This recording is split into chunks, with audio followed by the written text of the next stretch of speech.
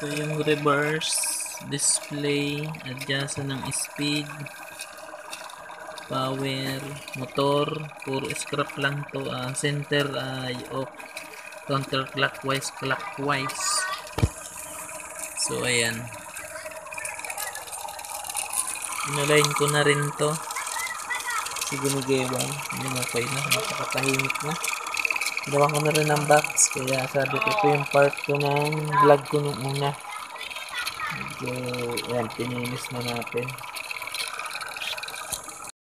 Ah, hapon, hapon na. Hapon ko na natapos yung ginagawa kong bilingan. So, ito yung part 2.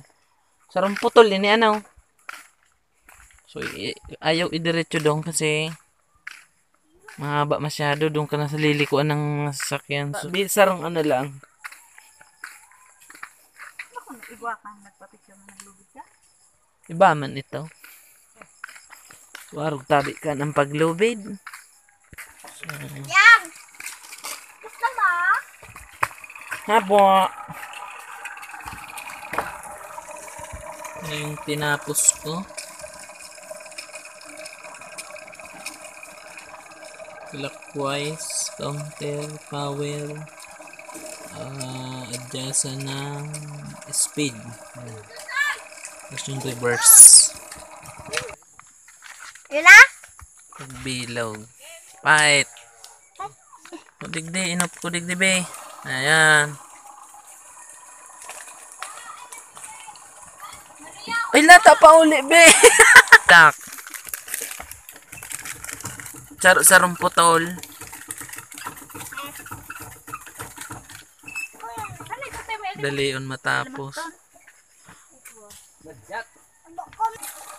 Yan ang pag doon. Purago na kampakaan ng ako.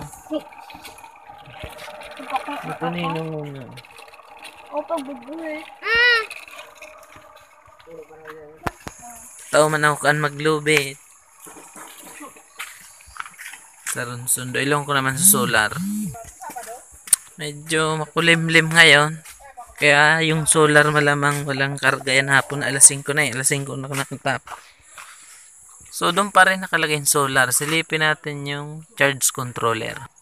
So ayun. Kung titingnan nyo, nakabaliktad lang yan eh. Yan. Sorry ah, nakabaliktad lang yan. Makikita nyo 130 kasi nag-charge pa naman siya.